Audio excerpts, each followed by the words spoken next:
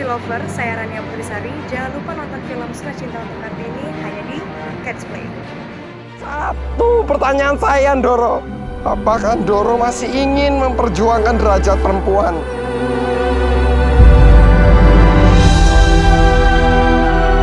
Saya akan menjamin anak dan cucu saya tidak mengalami nasib yang sama.